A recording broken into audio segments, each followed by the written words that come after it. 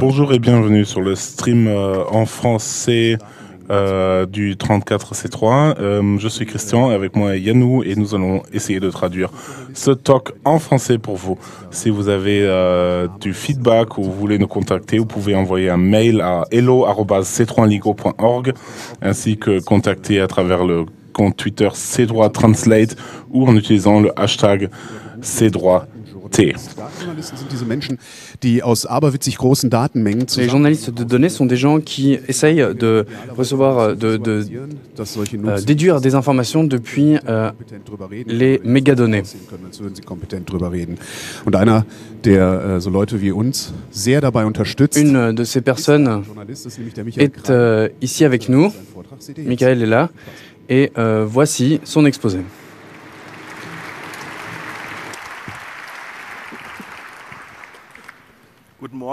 Bonjour à tous. Äh. J'espère que vous avez bien dormi. Ähm, Pas moi. Parce que d'une part, euh, je me trouve maintenant devant plein de gens. Et deuxièmement, je euh, m'occupe ici d'un sujet qui mène souvent à des débats très animés. Disclaimer. Äh, C'est pour cela qu'il y a ce, äh, euh, ce premier dia. Je euh, suis de gauche euh, et j'aimerais euh, me distancier de toute forme de racisme, sexisme, antisémitisme, euh, xénophobie, islamophobie et euh, tout discours haineux. Dans le cadre de cet exposé, je suis scientifique et j'essaye d'être le plus neutre possible. J'observe le débat et je ne m'y implique pas. Je ne veux pas ici vous présenter euh, mon opinion politique, mais observer celle des autres. Genau. Dann lass uns direkt reinschmeißen. Äh, Commençons. äh, D'abord, je vais vous parler de la méthodologie äh, pour que vous puissiez voir comment euh, ma recherche a fonctionné et pour que vous puissiez voir à- comment elle est reproduisible. Il y a une API sur Twitter grâce à laquelle on peut euh, äh, télécharger ou plutôt euh, voir quels sont les statuts, voir combien de followers ils ont. Notamment, euh, on a donc une interface grâce à cette API. Il y a un cache entre l'interface et l'API. Donc ça veut dire que quand je fais une requête auprès de l'API, euh, il suffit qu'il va juste la chercher depuis euh, une base de données. Si on se donne du mal, après quelques semaines ou quelques mois, on peut avoir av- plusieurs interfaces grâce euh, aux recherches à long terme. L'idée est que je ne fais pas une requête auprès d'un seul utilisateur, mais de nombreux utilisateurs.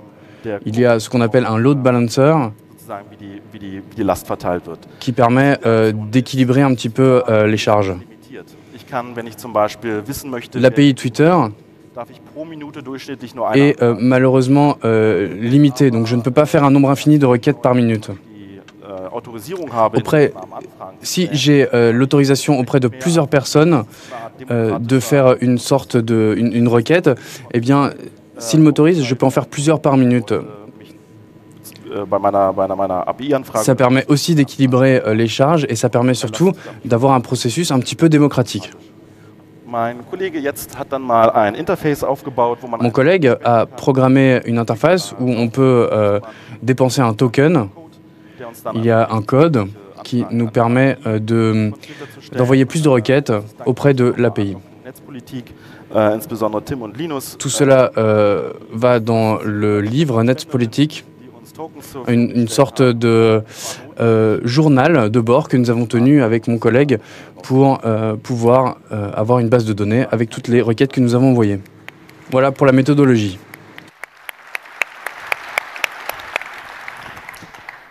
Euh, correction, Netzpolitik est un blog qu'ils ont ajouté. J'ai envoyé euh, 10 requêtes par seconde. Daten aller 330 Millionen Twitter-Accounts abfragen möchte, Et euh, par comparaison, si je veux envoyer une requête euh, à 330 millions euh, de comptes Twitter, cela prend 4 jours. äh. Ähm, äh, Au niveau. De la technique, au niveau de euh, l'analyse, je me suis surtout focalisé sur Twitter. En ce qui concerne les fake news, les fausses informations, c'est un thème très complexe. Voici euh, un graphique qui vient de l'Institut pour euh, la nouvelle responsabilité, euh, Institut für neue Verantwortung. Äh, schlechte voilà ce qui est considéré comme étant les fake news. C'est à droite, il y a la désinformation, il y a la manipulation, les fausses informations, et à gauche, ce qui n'est pas des fake news.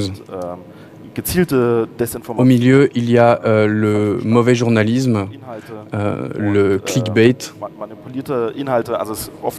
Beispiel Bilder En ce qui concerne le mani- la manipulation d'informations, à droite, euh, on parle là, des images manipulées ou des images avec une fausse légende. Je n'ai que peu de temps, donc je ne vais pas trop parler des fake news.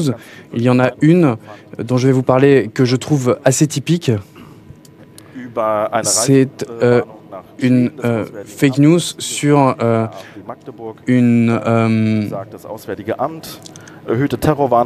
euh, sur euh, alerte terrorisme en Suède qui était fausse. äh, Et juste après, après quelques heures ou quelques jours, il y a eu un tweet de, euh, du ministère des Affaires étrangères euh, en disant qu'il n'y avait absolument pas de, euh, 2000 Tweets euh, wurden zu diesem Thema d'annonce qui, euh, qui déconseillait euh, que les gens aillent en Suède. On peut äh. Ensuite, euh, réfléchir à faire quelques graphiques qui permettent de visualiser un petit peu euh, ces fake news. Äh, Hier geht's vom 2. März Ici, sur l'axe des X, vous avez euh, le temps qui va du 2 mars 2017 au 9 mars. die Fake News 2017. En bas, vous avez les fake news et euh, en haut, vous avez les tentatives de euh, contradiction de ces fake news. er L'avantage est qu'on ne voit pas seulement combien de tweets ont été publiés, mais surtout l'impact de ces tweets. Keiner geht damit um, dann ist es halt nur ein Punkt. Aber wenn Si euh, il y a un tweet et personne ne euh, le retweet, il y a juste un petit point. Par contre, s'il y a beaucoup de retweets, eh bien, vous voyez un grand arc. äh, äh, Ce tweet avec euh, l'avertissement euh, du voyage en Suède a été publié en septembre Tweets, obwohl der Account aktuell 481 Follower hat. et il n'y a pas eu de retweet. En février, äh. Il y a eu un autre tweet sur ce sujet. Le compte n'a qu'un seul follower et il n'y a aucun retweet. Donc le thème avait déjà été traité, mais il n'a absolument pas été porté. aus dem 1. Un autre exemple, 1er mars 2017, am Zeitstrahl et là on va aller sur le mur de cette personne, de ce compte twi- Twitter. Voilà une euh, capture d'écran. Der Tweet hat immerhin äh, sechs Tweets und Le äh. Tweet a euh, toutefois 6 retweets. Äh. Et donc on peut voir qu'il y a le premier, le premier impact de ce- cette information. Et puis au fil du temps, euh, ça augmente. Il y a euh, encore un tweet sur ce sujet avec 29 retweets. Et là, je ne peux même pas euh, vous montrer de capture d'écran parce que le compte a été fermé depuis. C'est quelque chose qui arrive très souvent. Euh, le tweet est le suivant. Trump avait raison. Euh, il y a un avertissement de, de voyage en Suède après son discours sur le terrorisme. Voilà un autre tweet. Finalement, ça bouge pas mal en Suède. Citation du tweet, encore la même chose. Ici, euh, terrorisme islamiste. Et puis, au final, le euh, parti AFD à Magdebourg qui, euh, suit également la tendance avec un tweet sur la Suède. Donc, on commence avec une fausse annonce du ministère des Affaires étrangères et ça termine avec le terrorisme islamiste. Diejenigen, die also dann die Gegendarstellung veröffentlichen, da Ensuite, il y a euh, les, euh, ähm, euh, les contrats. euh, erklären, ähm, dass es hier Il y a les réponses en fait euh, des euh, personnes qui voulaient euh, clarifier que c'était des fake news sont premièrement après en premier euh, le ministère des Affaires étrangères ainsi que différents médias qui ont euh, euh, montré que c'était en fait de fake news. Si on regarde entièrement euh, la ligne dans le temps, ce qui est vraiment intéressant, c'est que euh, le, le thème c'est moins que le fake news est, euh, est publié, que ça explose ensuite, mais c'est qu'il y a un, début graduel. Ça commence tout petit, ça grandit de plus en plus, et euh, on a plus l'impression que euh, il y a des gens qui expériencent un peu, euh, qui essayent, qui tentent euh, euh, pour voir quand est-ce que le réseau euh, euh, répond là-dessus. En fait, moi je dis que les fake news sont des mêmes. Ils n'ont pas de primaire, de source primaire. Ils se forment dans le réseau. Euh, le phénomène du centre et pas leur existence, mais euh, qu'ils puissent euh, se répandre aussi facilement. C'est pas la source qui les crée, mais c'est la résonance qui crée. C'est ça qui est vraiment important. Alors, si on interdisait les sources de fake news, ils devraient, ils seraient toujours présents dans le réseau. Comme les fake news en tant que même ont euh, euh, une portée très grande, on peut en faire un très grand capital, en fait. Ähm, Donc, euh, on peut parler de Breitbart News ou de, de, de, de Trump qui essaie de prendre du capital de cette idée.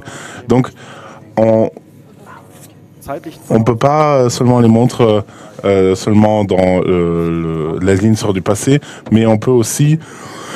Euh, regarder les, account- euh, les, comptes qui ont euh, répandu les fake news et qui ont euh, répondu dessus. Donc, on crée un réseau.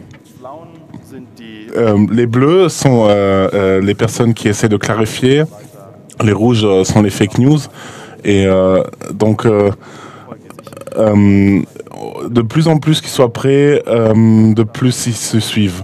Donc, on- peut voir des réseaux euh, complexes comme ça, on peut voir comment ils se suivent et comment ils sont connectés ensemble. Ce qui est vraiment intéressant, c'est que les personnes qui euh, font les fake news sont d'un- dans un groupe qui est très isolé. Euh, ils sont euh, dans leur coin et ils sont seulement connectés à travers euh, à la société, à travers les, médias, par exemple. Donc, ils essayent de se distancier aussi même de ces médias. Ils se créent vraiment deux, deux groupes complètement séparés qu'on peut voir en fait, qui sont juste interconnectés par les médias. Donc la première fois que j'ai vu cette image, euh, la première fois que j'ai vu l'image, je me suis dit oulala, c'est un filtre en fait, c'est une bulle euh, dans les dans laquelle les gens se se, se bougent. Donc ce qui est vraiment bien, c'est qu'avec euh, l'API de Twitter, on peut regarder plus profondément euh, dans les users. Donc on peut aussi regarder le timeline des utilisateurs de Twitter. On a plus d'accès de données. Euh, donc je montre euh, en bleu encore euh, les non fake news et en rouge euh, les fake news. Donc 89% des, des euh, personnes qui euh, haben tatsächlich ursprüngliche Fake 89% des personnes qui ont répandu les fake news ont vu la euh, n'ont pas vu la réponse, mais 89% des personnes qui ont euh, euh, qui ont euh, répandu les fake news n'ont pas suivi ce chose. Ce que je veux dire, c'est que il y a vraiment une bulle en fait, parce que une bulle, la bulle des fake news, reçoit moins d'informations de l'autre bulle que la bulle des, médias normaux reçoivent de la bulle de fake news. Donc ça, c'est une carte. Euh, ça c'est vraiment euh, euh, ça c'est la, carte des utilisateurs de Twitter en Allemagne entière et la couleur euh, selon le pays dans les, lesquels ils viennent. Donc on peut mettre des couleurs différentes. Euh, donc là, euh, avant on avait euh, la, selon pays, euh, là c'est euh, selon âge de, du compte. Donc euh, en vert, c'est des comptes qui sont très très jeunes, qui sont très nouveaux en fait, pas jeunes en termes d'âge de la personne, mais jeunes en termes de durée sur Twitter. Et donc euh, euh, sont rouges, ils sont c'est des comptes un peu plus vieux. Et là, on voit différents groupes en fait. Donc euh, euh, des groupes de jeunes, les médias, en fait, le marketing. on a même un peu de porn. Cliquez pas là-dessus. Et voilà. Donc on voit vraiment des groupes de et comment ils sont connectés. Mais ce qu'on peut faire aussi avec ce, graphique, on peut le mettre dans une autre couleur. On peut aussi mettre la couleur selon quelle partie se trouve dans quelle partie du réseau, quelle partie politique se trouve dans, dans quelle bulle du réseau en fait. Donc, donc on a, on a vu les, les différentes couleurs des partis qui sont plus ou moins dans leur groupe ici euh, en bas. Donc euh, il y a l'AFD, euh, l'extrême droite Allemagne, qui sont un peu dans leur coin. Donc là, on avait avant en bleu la, les personnes de l'extrême droite et maintenant avec l'autre couleur, on a les personnes qui répartissent les fake news. Donc là, vraiment, on voit qu'il y a une coïncidence euh, sur la carte même. Donc le truc marrant, c'est que c'est pas vraiment les députés euh, de l'extrême droite qui font ça, c'est leurs followers et les groupes qui le font. Donc euh, là, si on va l'âge des comptes, donc on voit que c'est des comptes très très euh, jeunes, ils ont une activité très très grande, beaucoup beaucoup de tweets par jour. Et puis euh, on peut voir au seuil de ce groupe, euh, on peut voir quel genre de termes ils utilisent et pour les comparer avec d'autres termes qui sont utilisés sur le reste du réseau Twitter en fait. Et donc les euh, termes qui sont les plus utilisés sont voilà, ils sont islam, Allemagne, migrants, Merkel, Mas, c'est un politicien politique, bataille pour la liberté ou SPD, c'est parti de gauche. euh, euh, la droite, Antifa, censure, Pédiga, euh, syrien. Et... Donc on voit vraiment que c'est un groupe très jeune, euh, très spécial. Comment est ce groupe? Ils sont très très jeunes sur Twitter, ils sont très proches de l'AFD, l'extrême droite, ils répartissent beaucoup de fake news, ils sont très actifs sur Twitter et, et euh, ils se euh, concernent euh, principalement juste sur la politique de migration de l'asile en fait. Et je vais revenir sur ce groupe. euh, euh, sur euh, bon la première théorie qu'on pourrait avoir c'est que c'est des bots sociaux en fait. Et euh, c'est ça que je vais parler dans ce talk en fait.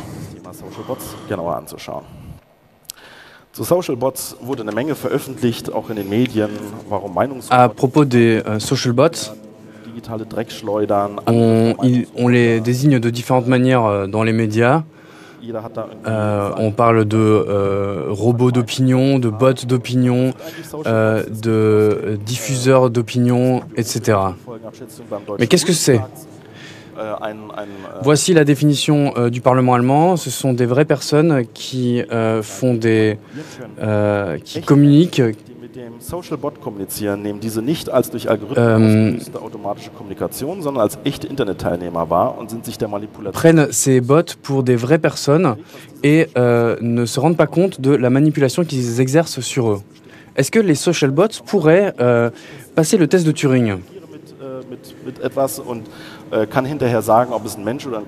C'est un test où euh, on peut dire si euh, la personne ou l'ordinateur qui fait ce test, euh, on peut déterminer si c'est une personne ou euh, un ordinateur.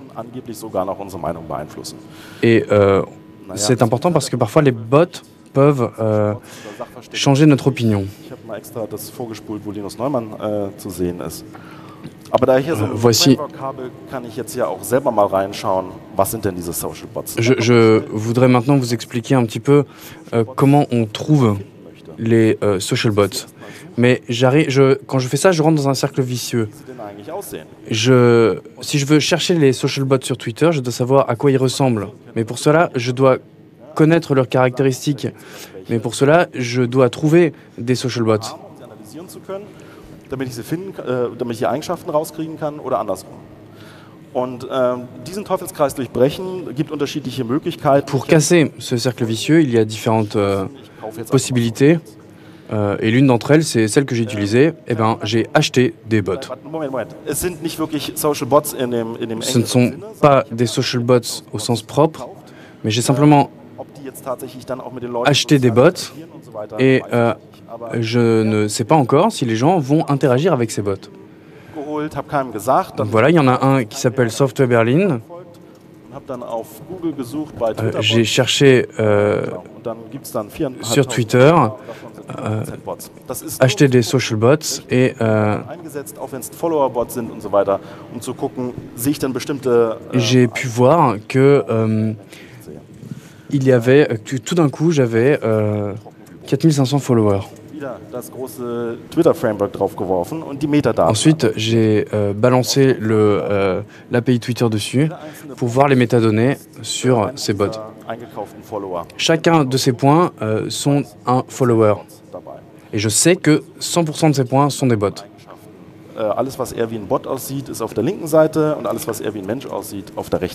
J'ai fait passer euh, le test de Turing à ces euh, bots. Ce qui est à gauche euh, est plutôt un bot et ce qui est à droite ressemblerait plus à un être humain. J'ai ähm, äh, er. Ähm, J'ai essayé d'appliquer certaines caractéristiques pour les filtrer. Par exemple, 100% d'entre eux n'ont pas encore d'avatar. Euh, Text äh. 100% d'entre eux ont moins de 10 followers. Euh, 100% d'entre eux n'ont pas indiqué euh, leur fuseau horaire, etc. Et on peut tout à fait voir que tout à gauche, Euh, la plupart de ces bots euh, qui euh, sont assez euh, euh, vierges, dirons-nous, sur leur profil, euh, sont, ce sont des comptes qui sont très jeunes. Au milieu, vous avez des bots qui, sont, qui ont été inactifs jusqu'à 3 ans. Ähm, äh, äh, Et la troisième catégorie, et je trouve que c'est assez intéressant, ce sont des comptes qui euh, ont été en partie euh, vérifiés. Donc là, il y en a une, c'est euh, Peggy, qui est euh, présentatrice à la télévision, Chris. Glorioso. Et euh, un New-Yorkais euh, très connu, un journaliste chez NBC. Et c'est intéressant parce que j'ai acheté les followers et dans ces followers, il y avait euh, des personnes qui sont réelles. Ähm, äh. J'ai essayé de trouver comment c'est arrivé, mais euh, je ne sais pas, je n'ai euh, rien trouvé.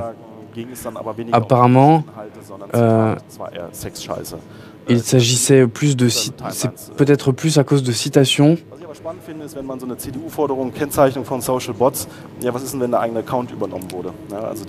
Mais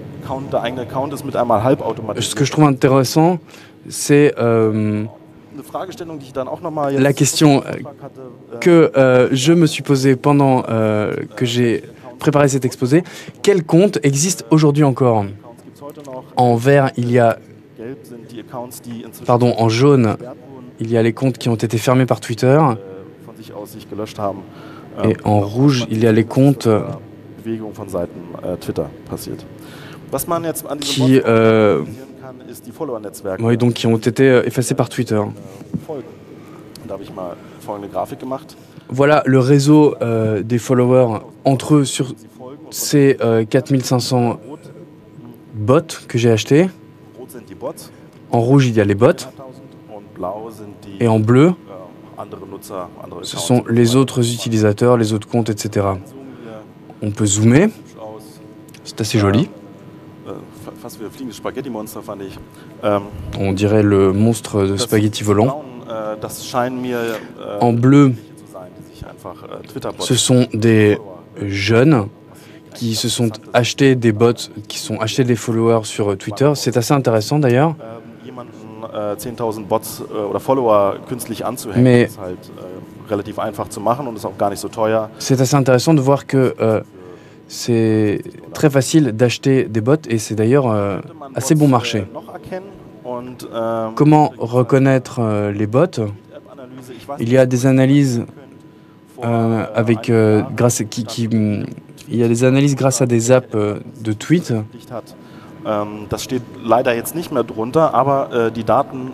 Les- Données sont encore dans l'API Twitter d'ailleurs. Ähm, Il y a marqué donc la source äh, qui indique quel service on a utilisé pour tweeter. Il y a euh, Twitter pour iPhone, il y a Twitter pour Android, mais il y a aussi Facebook, euh, Instagram. Ce que je trouve intéressant, c'est qu'il y a euh, 350 autres services. Les voilà. C'est euh, un énorme pot pourri de, euh, d'applications euh, coréennes, turques, euh, japonaises, etc. C'est aussi intéressant de voir qu'il y a euh, tout un, toute une flopée euh, de, de scripts qui permettent de poster sur Twitter. 50 äh, pour montrer aux gens ce que euh, c'est comme service qui se trouve derrière tout cela. Il y a par exemple FeedBlitz, FeedBlitz euh, il y a Tweetbot, tweetbot.net qui est aussi un truc euh, assez bricolé. Je pense que c'est quelqu'un qui a essayé de bricoler un truc et c'est toujours en, en cours. Il y a aussi euh, un outil, euh, Kim Kardashian Hollywood, ähm,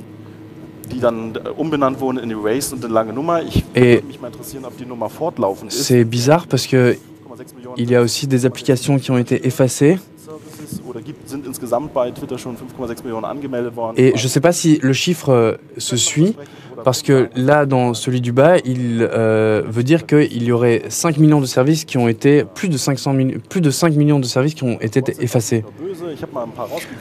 Alors Äh, je veux clarifier quelque chose.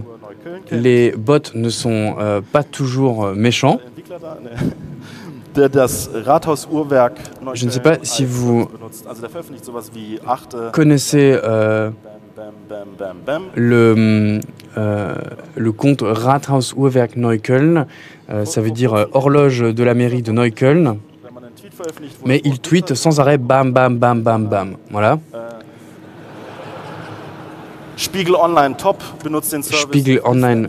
Top utilise les services de If This and That Online, sondern Spiegel Online Top. Und äh, Zeit Online Digital hat et Zeit Online a aussi un service oder de Bot. äh, qui est euh, enregistré sous euh, Zeit Online. Comment reconnaître ces fameux bots? Est-ce que le profil est complet? Est-ce qu'il y a un avatar? Est-ce qu'il y a une description? Est-ce que le compte fait partie d'un euh, réseau? Depuis quelle application sont envoyés les tweets? Et euh, à quoi ressemblent les métadonnées, euh, les autres métadonnées du, tweet? Mais je veux être très clair, ce ne sont que des indices. Äh, komme relativ schnell ins Grübeln. Äh, jegliche Bot-Erscheinung könnte auch gut äh, menschlich erklärt sein. Ces euh, caractéristiques peuvent tout à fait, tout à fait s'appliquer à des comptes euh, gérés par des humains. Das könnte natürlich auch eine hochintelligente KI sein, schienen. Egal, auf jeden Fall mit diesen. Mit Dans tous les cas, euh, je voudrais maintenant vous euh, aider, je, enfin je voudrais maintenant trouver des bots. Voilà ce que j'ai trouvé. Voilà, je vais vous montrer ce que je vais trouver. Alors j'ai trouvé des comptes, euh, des comptes qui sont inactifs, j'ai trouvé des comptes de service, euh, des trolls, enfin des, des, des jeunes, des racistes, des haters.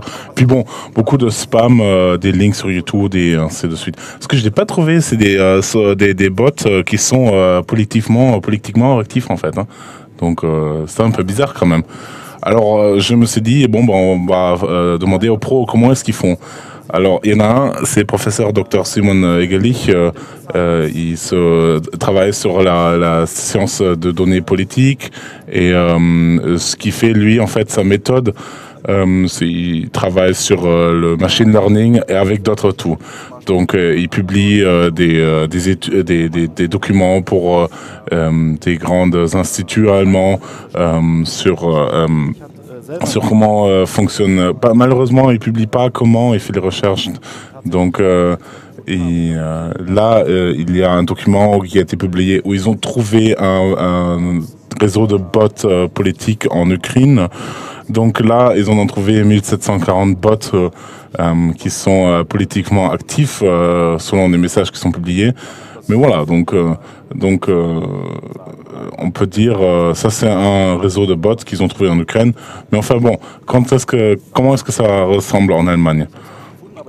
Peut-être que moi je l'ai pas trouvé, mais moi je n'ai pas trouvé de, euh, de document de professeur Egelich dessus avec une méthode qui peut être vérifiée. Mais ce que j'ai trouvé, c'est un, euh, reportage du ZDF, euh, de ZDF Zoom. Euh, ils ont euh, professeur Simon Egelich avait le, le travail de trouver des social bots dans des gigabytes de données, donc ils en ont trouvé un. Et euh, c'est Egon Dombrowski, c'est un des social bots qu'il a pensé. Il euh, publie euh, entre euh, 136 posts par jour euh, avec une tendance très proche de la droite. Donc on s'est posé la question est-ce que c'est un bot ou est-ce que c'est un vrai homme? Euh, Donc la rédaction du CTF lui a écrit et euh, Et le, le, le bot s'appelle Egon Dombrovski, il a 50 ans. Euh, il travaille pas, il est au chôme, il travaille, euh, il vit à Erfurt et était dans la commune. Et puis maintenant, il est euh, sur Facebook très actif. Et euh, il dit que les médias c'est euh, des, des, font de la propagande et ils font, il fait de la publicité pour la droite et n'est pas payé par la droite même, mais il le fait pour lui-même en fait. Donc voilà. Donc euh, il essaie, euh, si on essaye de trouver un social bot, euh, on a trouvé une vraie personne et le but. Mais il y a d'autres personnes qui travaillent là-dessus aussi. Donc il y a botswatch.de, ils, ils essayent de trouver euh, parallèle à des événements très importants, de regarder euh, ce qui se passe euh, sur Twitter, s'il y a des social bots qui, qui mélangent dans les autres utilisateurs. Donc ils ont une description aussi de la méthode comment ils font. Donc eux, ils disent que des comptes qui publient plus de 50 tweets par jour sont des bots. Alors moi j'ai dit, bon, mais Monsieur Dombrowski, il fait 136 posts par jour. donc là aussi les, les, personnes qui ont regardé euh, ce qui s'est passé lors des élections ont fait euh, une liste de tous les comptes euh, qui ont fait plus de 58. Et là, j'ai fait un peu un, euh, j'ai fait un peu une, euh, une mise, une, un compte rendu de tous les comptes qui ont publié plus de 58 par jour. Euh, on est déjà à Socialbot, donc euh, là on a déjà des, des, médias en fait, Welt et Focus Online, qui font plus de 50. Christophe Lauer, un politicien allemand, ainsi que Madame Schellenheck. Ils font euh, chez les Verts, euh, ils font aussi plus de 58 par jour. Euh, bien sûr aussi les partis avant les élections, la CDU, les conservatifs, les, les, républicains en Allemagne qui ont fait 64 tweets par jour. Et puis bon après il y a plein d'autres aussi. Donc 58 par jour pour qualifier un bot, c'est vraiment pas sérieux et ces scientifiques n'ont pas prouvé. Et euh, comment est-ce qu'ils ont trouvé ça? Eh ben, c'est le critère de social bot de l'université d'Oxford. Donc c'est intéressant, hein, je trouve. Hein. Donc euh, puis j'ai commencé à regarder les études et papers des, des différents euh, qui, qui parlaient de ce thème, euh, comment est leur méthode en fait. Et puis euh, j'en ai pris que deux parce qu'il n'y en a pas vraiment pas mal. Euh, donc il y en a vraiment deux qui sont importants. Donc les social bots lors des élections présidentielles aux États-Unis. Euh, ça c'est une publication qui a été euh, publiée avec le titre euh, les bots et l'automatisation sur Twitter pendant les élections présidentielles. Et j'avance un peu au moment où ça ça arrive. Alors, il commence à parler des social bots en fait, et après, et puis après, bon, il commence par les social bots, et après, qui ressemblent à les social bots, et à la fin, il parle. Euh, donc, il parle de, heavy automated bots, donc des bots qui sont très automatisés. Donc, eux, ils disent. si 50 posts par jour sur un certain hashtag, on peut être catégorique comme comme euh, bot. Donc là, vous avez une liste de tous les hashtags qu'ils ont vus. C'est euh, d'abord les pro-Trump, les pro-Hillary euh, et après les hashtags qui sont euh, en général sur les élections principales. Bon, mais j'ai des questions concernant sur cette définition. Pourquoi est-ce que c'est 50 et pas 30 passants euh, Est-ce que c'est valide pour tous les pays Est-ce que ce critère, euh, est-ce qu'on peut le prendre aux États-Unis et le mettre en Allemagne Et qu'est-ce que ce genre, ce genre, c'est ces comptes euh, est-ce que si je peux les identifier, je peux les regarder plus précisément Combien de followers est-ce qu'ils ont? Combien de favoris? Combien de retweets ce qu'ils disent Parce que peut-être qu'ils font plein de retweets, mais peut-être personne ne les lit. Et à travers quel service est-ce qu'ils écrivent sur Twitter? Parce que ça c'est important aussi. Et euh, je peux comprendre qu'il y a pas mal de comptes, mais il y a, y a des méthodes scientifiques euh, qui sont euh, prouvées. On en prend 100 au hasard et on regarde vraiment si c'est des comptes euh, qui ont euh, une influence politique.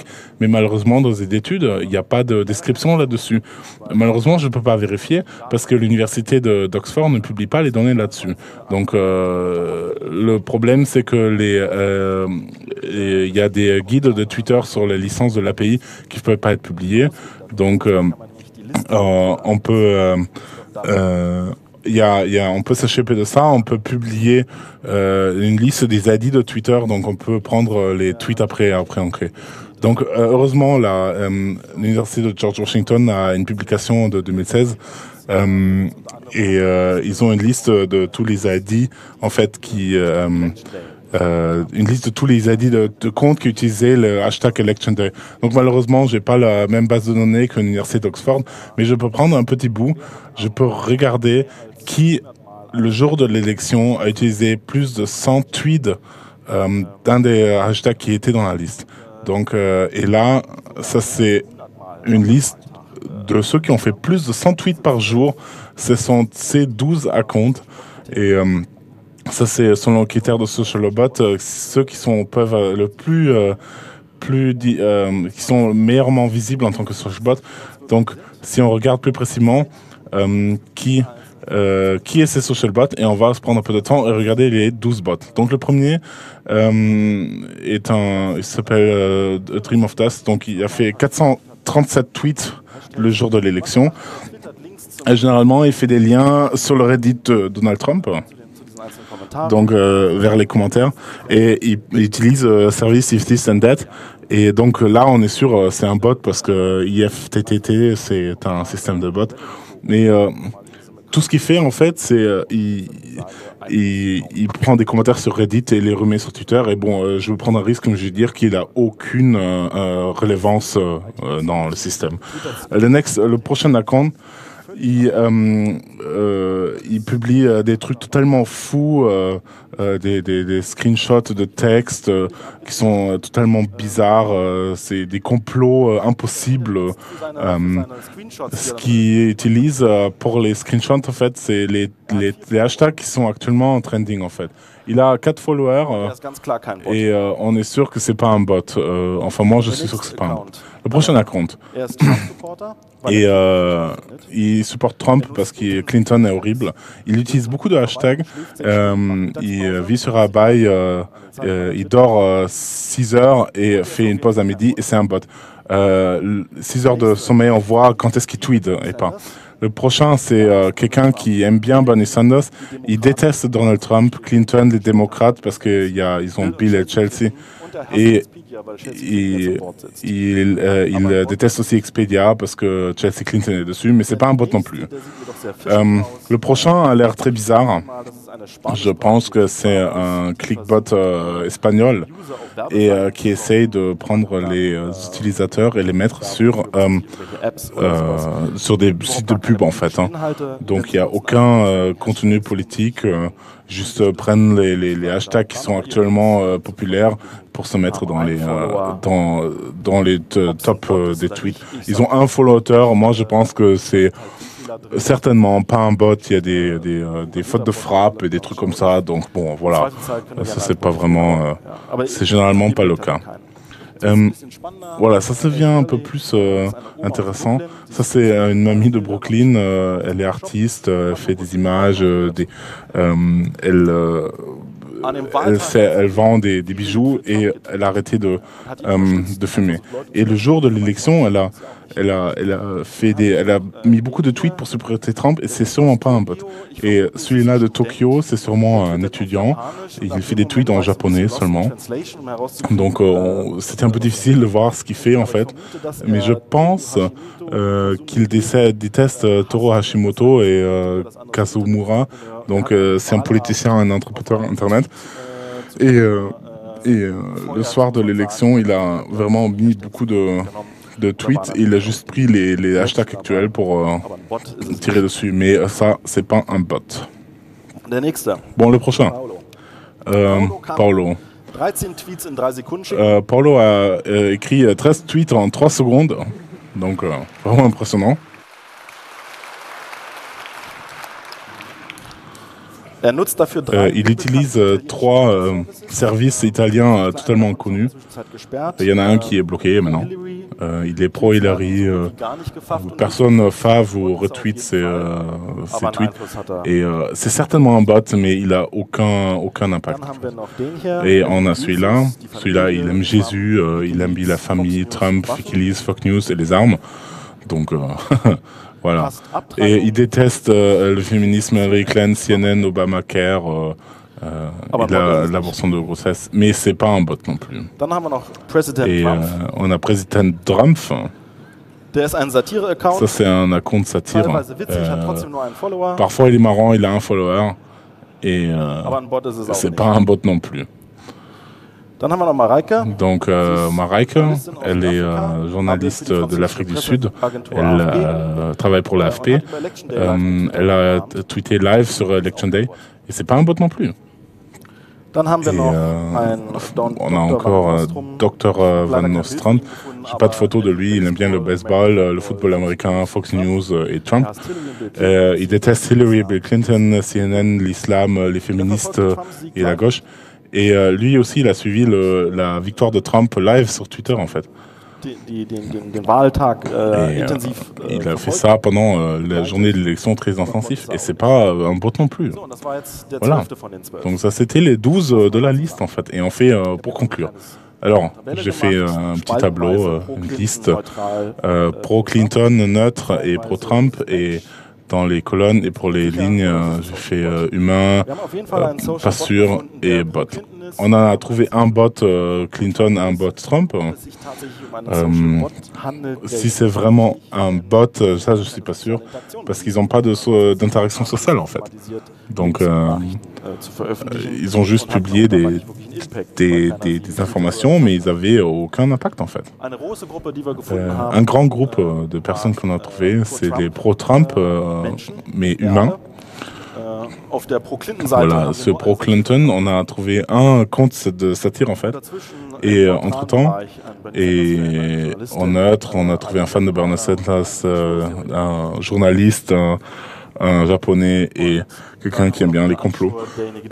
Et, euh, et on en a un qui est, qui est pas sûr, c'est lui qui écrit que des liens.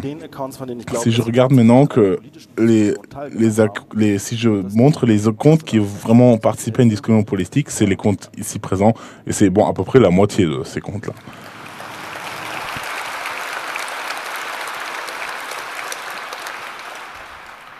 Die Studie Bots and Voilà. Automation over Twitter during US Location. Les- äh, les études, euh.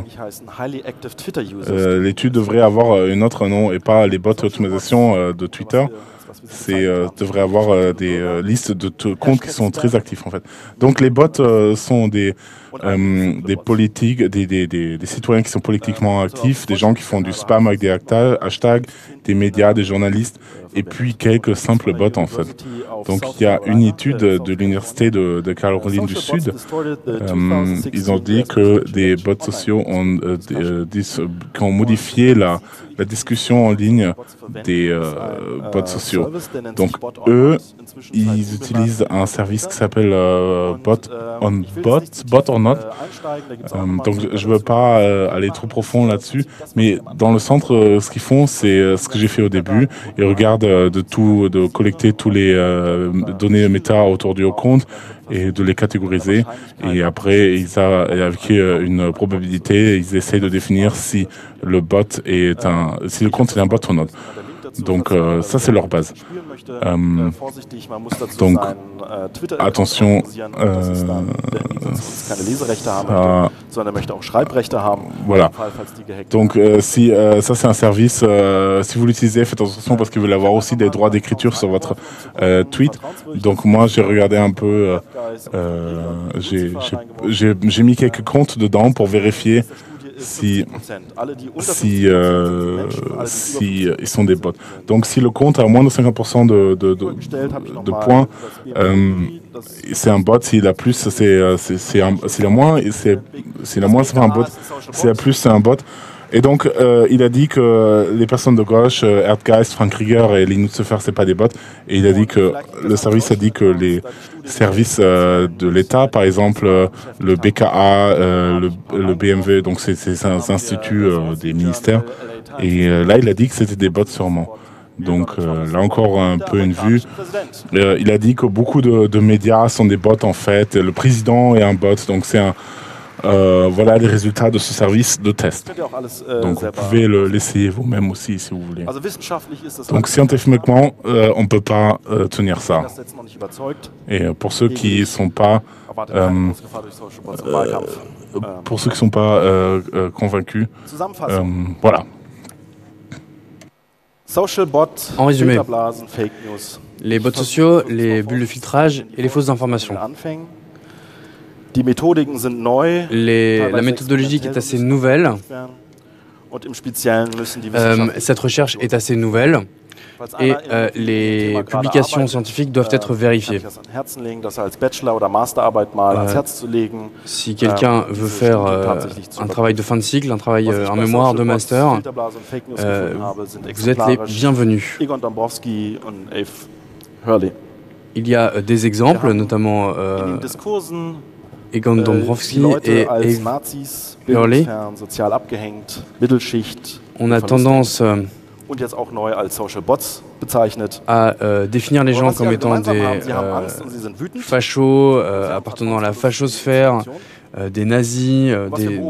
gens d'extrême droite, euh, et maintenant, ce sont aussi des, bots sociaux. Ils utilisent les nouvelles technologies pour euh, ähm, diffuser euh, des fausses informations et diffuser leur euh, vue politique. On observe aussi que les réseaux sociaux ne euh, se sont pas unis pour essayer de trouver des solutions. Peut-être y a-t-il des solutions techniques. Mais Ähm, en tout cas, il faut essayer euh, de, euh, d'ouvrir le débat wir pour essayer de trouver euh, une solution à cela. Mais en tout cas, je pense qu'il y a là une nouvelle science qui est en train d'apparaître. Elle est encore euh, dans sa plus tendre enfance, elle fait ses premiers pas, euh, mais je pense qu'il y a quelque chose. On est en train de, décrire un, un phénomène qui appartient à la science politique et à la science sociale. On peut euh, avoir une méthodologie qui permet de reproduire äh, des résultats. äh, On a vu aussi des- erfunden ce genre de développement euh, en astrologie. On a euh, d'abord observé les étoiles grâce au télescope, et puis on en a tiré euh, des conclusions qui sont devenues des lois, euh, physiques, et ça a été la naissance de l'astrologie. Et je pense que là, sur les réseaux sociaux, nous avons aussi trouvé une nouvelle science Und ich glaube, dass es nicht nur jetzt möglich Qui, ist, euh, sozusagen als Teleskop oder euh, Mikroskop fait des recherches, ou qui ferait des recherches sur les médias sociaux. Je pense qu'elle est nécessaire.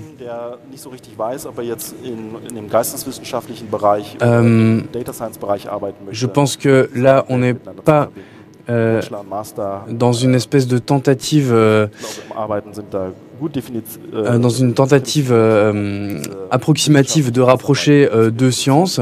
Je pense que là, on est vraiment à la croisée des chemins entre deux sciences, entre la science des données et les sciences sociales. J'aimerais bien soutenir les premiers pas de cette science. Äh, J'ai publié euh, une partie du code source de euh, mes outils.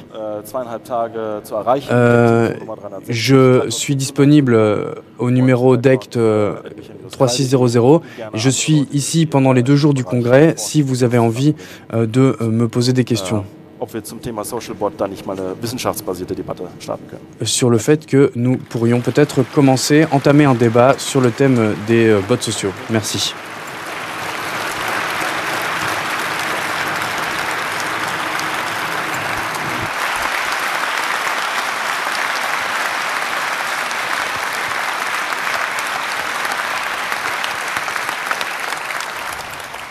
Mindestens das will ich nachher nochmal hören. Jetzt haben wir noch. äh, J'aimerais bien euh, réécouter cela.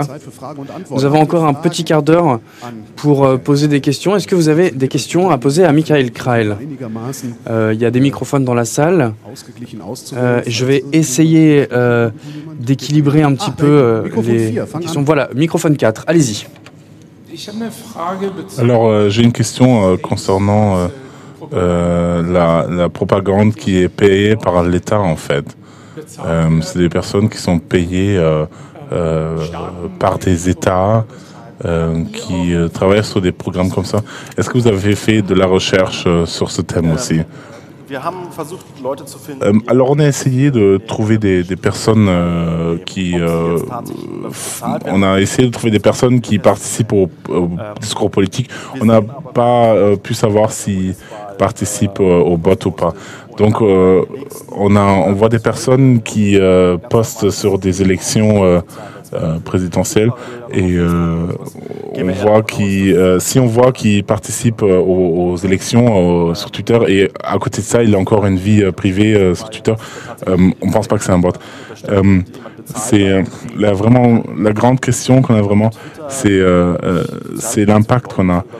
Est-ce que vraiment par Twitter je peux modifier font, euh, font faire que les gens changent leur vue politique par Twitter. Donc je suis très, euh, euh, je fais attention à ne pas euh, partir de ce point de vue. Äh, Microphone 2. ich fand das super. Merci pour l'exposé. Je pense que c'est un sujet très important, surtout si euh, cela veut dire qu'on doit changer notre méthodologie scientifique. Merci beaucoup pour cela. Euh, je suis un petit peu déçu que tu n'aies pas trop parlé des fake news, Parce que j'aurais bien voulu euh, euh, savoir comment euh, l'in- l'influence qu'ont ces bots dans la diffusion des fake news. Ähm, En tout cas, ils ont une énorme influence.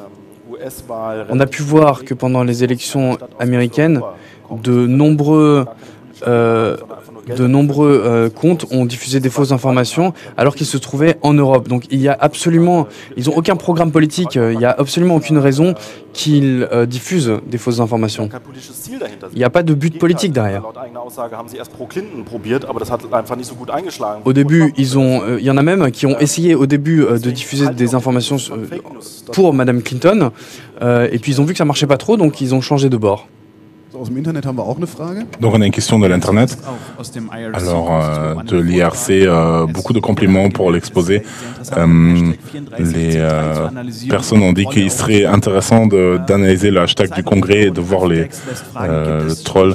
Donc il y a des questions. Est-ce qu'il y a, est-ce qu'il y a des- encore des, des smart bots euh, qui euh, qui se battent entre eux et qui ont des interactions entre bots, Flamebots. des flame bots. euh. ähm, also, Oula. alles theoretische. Alors euh, ça, ça, c'est des, euh, des concepts théoriques, même si on se lit les études là-dessus. C'est des concepts euh, qui disent on, ça pourrait être comme ça. Moi, je suis pas ici pour dire euh, ça peut passer. Moi, j'ai aucune idée euh, ce qui se passait avec euh, l'artificience, l'intelligence artificielle dans, dans les années à venir. Mais ce qu'on voit jusqu'à maintenant, c'est il n'y a pas d'intelligence artificielle qui qui, qui fait ce- ces contenus. Microphone 3. Salut. Würde, Le premier critère pour euh, euh, différencier les bots, euh, les, les- les comptes humains des comptes de bots, serait euh, la fréquence de, des war. Pourquoi est-ce que vous avez pas, vous vous en êtes pas servi? Parce que c'est pas toujours un critère auquel on peut faire confiance. Äh, entwickle, dann wäre Si ich jetzt auch schlau. je développe maintenant un euh, bot social, eh ben je vais être intelligent et je vais faire en sorte qu'il ne poste pas euh, 100 fois la minute. Mais au final, ce n'est arrivé euh, qu'une fois où on a vu qu'un un bot social euh, diffusait euh, de manière réaliste. Microphone 1. Ähm, ich wollte Euh, fragen, je voulais euh, demander, est-ce qu'on t'a dit que les, euh, les social bots perdent d'influence Est-ce que ça veut dire euh, qu'il n'y a pas vraiment de discours de, de compta Mais est-ce s'il y a des... La question est plus ou moins s'il y a un changement dans l'impact et dans le danger euh, que présentent ces bots. Alors premièrement, euh, il y a une phrase qu'on a entendu les, les, les- une phrase on a entendu les dernières dix années, c'est quelque chose, ça veut dire que l'internet est pas euh, à la source de problèmes, elle a juste montré des problèmes qui étaient déjà là. Euh, donc euh, c'est quelque chose qui est juste devenu possible avec les réseaux sociaux. Donc ça c'est la différence. Donc je voulais savoir que si si ce danger est un peu réduit, euh, parce que chacun vit dans sa petite bulle, euh, euh, c'est-à-dire que les bots n'ont pas d'influence parce qu'ils sont contenus dans leur bulle en fait. Non, mais j'ai pas de- d'idée finale là-dessus. Mais je sais, enfin, on le sent que les les réseaux sociaux euh, euh, sont généralement pas conçus pour faire un discours. Euh, ça finit toujours dans un flame boire en fait. Euh, euh, vraiment des solutions. C'est pas le bon endroit pour faire des solutions. Peut-être que l'homme n'est pas fait pour ça. Peut-être que les réseaux ont un problème que nous ne sommes pas conscients. Et on ne doit pas oublier que c'est une technologie très expérimentale. Un réseau qui, qui donne la possibilité de- des hommes à communiquer de cette taille. Microphone 4, bonjour. D'abord, euh, félicitations pour euh, cet exposé. Ma question est la suivante. Tu as parlé de Twitter. Est-ce que vous avez euh, aussi analysé des réseaux sociaux qui ont aussi une grande capacité de, diffuser des informations? La question est qu'est-ce, quelle influence a un tweet euh, quand c'est envoyé euh, euh, par, des, par des petits comptes Un tweet à 10 000 followers est plus important que euh, 10 000 tweets à un follower. Effectivement.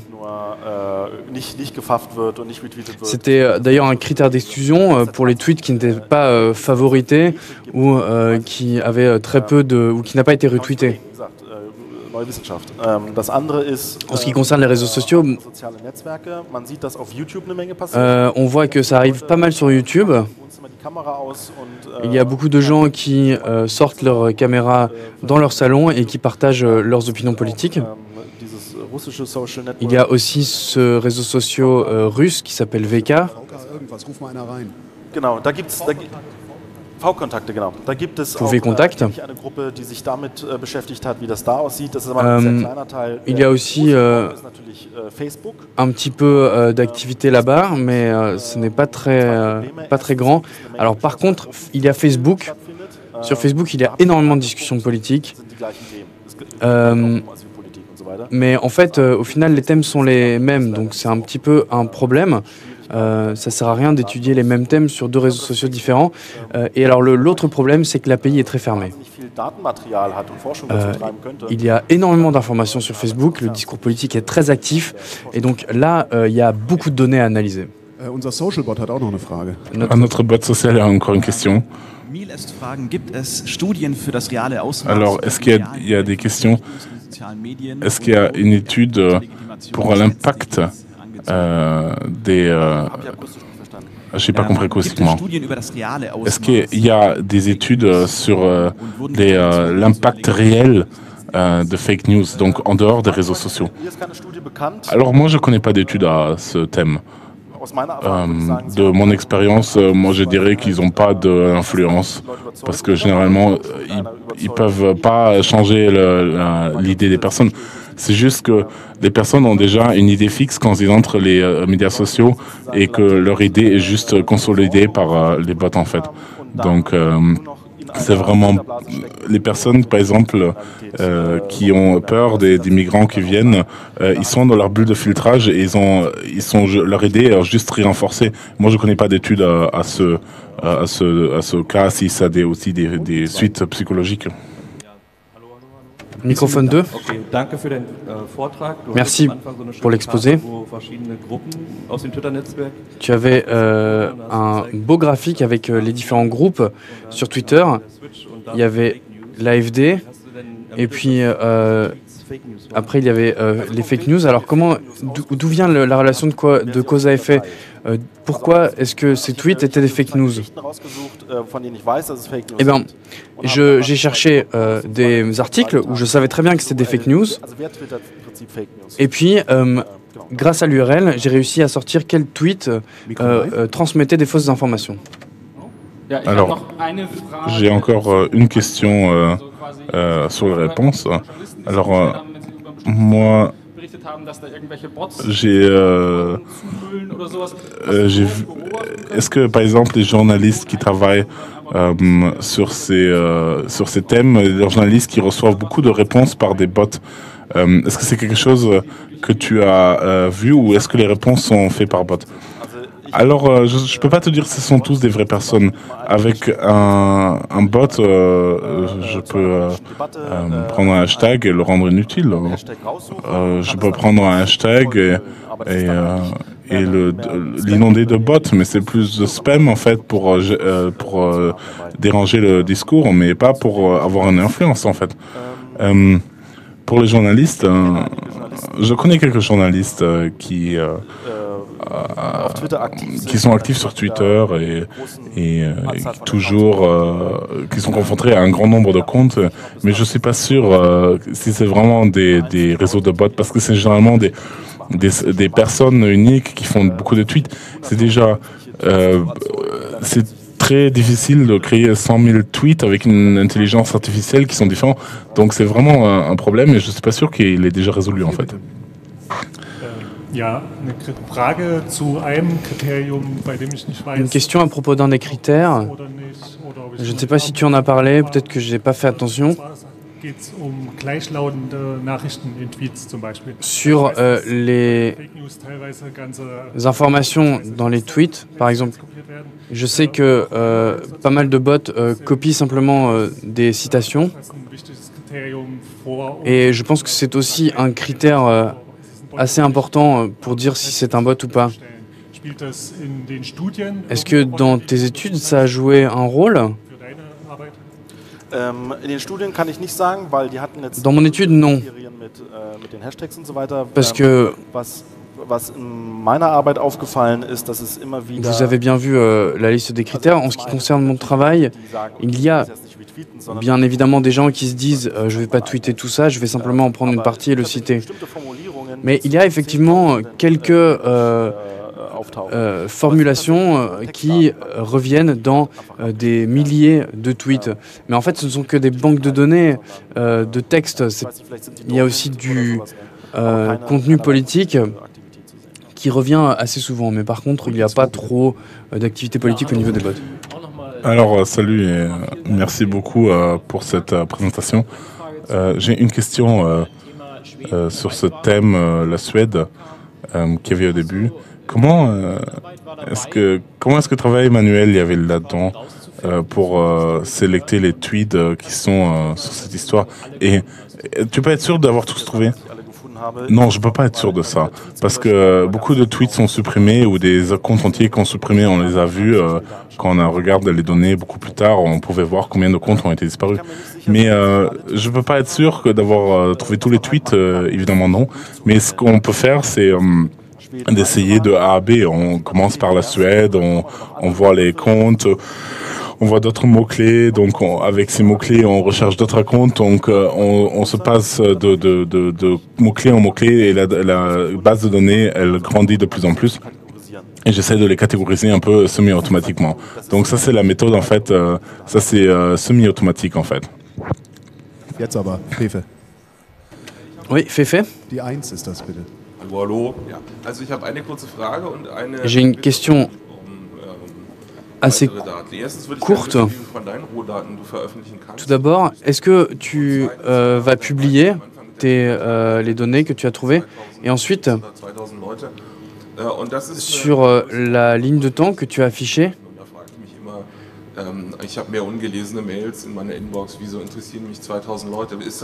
Je me demande, ist das eine, eine relevante Größenordnung?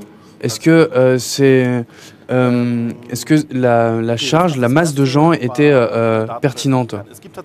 Alors, äh, sur la publication des données, il y a euh, une condition sur Twitter qui ne me permet pas euh, de publier les données sur euh, 10 000 comptes euh, Twitter. Äh. Sinon, j'aurais simplement fait clic droit, publier. äh, ähm, ähm, nur Mais- En fait. Euh, je peux peut-être euh, ähm, äh, exporter un fichier Excel avec euh, le nom des comptes et euh, le contenu du tweet. Ça, c'est quelque chose qui est possible, mais j'ai pas trop envie euh, de le diffuser euh, à grande échelle. Pour la deuxième question, est-ce que tu peux la répéter? Est-ce que tu trouves que 2000? Euh, 2000 analyser kommt es intuitiv nicht so viel euh, vor? 2000 comptes sur ta ligne de Bei 80 Millionen temps, c'est euh, pertinent parce que sur 80 millions euh, d'Allemands, 2000 personnes, c'est pas très, euh, ça me paraît pas représentatif. Und inwieweit da Oui, alors- 2000 Leute tatsächlich einen Impact haben auf eine En fait, euh, j'ai pris ce chiffre parce que ça me, euh, ça me paraissait déjà faisable. Euh, il y a sur les 80 millions d'Allemands, il y en a énormément qui sont sur Facebook. Parmi eux, il y en a beaucoup moins qui sont sur Twitter. Et donc, en fait, j'ai simplement essayé de réduire le chiffre.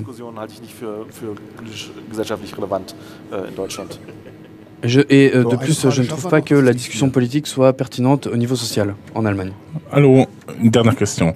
Merci beaucoup euh, parce que euh, parce que ton projet euh, euh, m'a m'a sauvé mes études. Euh, Merci beaucoup pour ça. Euh, Et alors, ce que moi j'ai vu que euh, spécialement par ces armées de trolls en fait, euh, est-ce que tu as regardé euh, dans les comptes euh, combien de choses se répètent à l'intérieur d'un compte Alors par exemple, euh, ils ont souvent les mêmes pro- images de profil. euh, ils ont des comptes avec des noms qui se suivent en fait. Euh, alors ça c'est un phénomène qui est général, euh, euh, qui, euh, qui est présent sur Twitter en fait. Donc euh, c'est quelque chose qui est pas euh, juste pour les bots par exemple. euh, Si un nom de compte est, pris, ben, ils mettent un chiffre derrière. Donc euh, ça, on peut pas vraiment le dire parce qu'il n'y a pas de différence entre les bots et les citoyens. Donc il faudrait prendre un ethnologue qui mène une, conversation avec les personnes pour voir euh, si elles sont euh, payées ou pas. Moi, je trouve ça dangereux de dès le début de mettre un, un- un label là-dessus pour euh, dire que ils sont payés ou pas. Donc c'est très compliqué et il faut une recherche très importante. Ah, ok. Alors moi, je les ai trouvés que par hasard en fait, parce que parce que je l'ai fait avec pour les élections en Turquie. Et donc c'est quelque chose. Il y avait beaucoup de comptes euh, qui ont euh, posté des spams turcs, mais euh, d'un coup, euh, on continue avec un allemand très très mauvais en Allemagne. Génial, on devrait euh, euh, se discuter de ça. Donc voilà, Euh, on est désolé, les questions sont terminées. Merci beaucoup Michael Karl pour le discours. Et à ce moment-là aussi, Yannou et moi, Christian,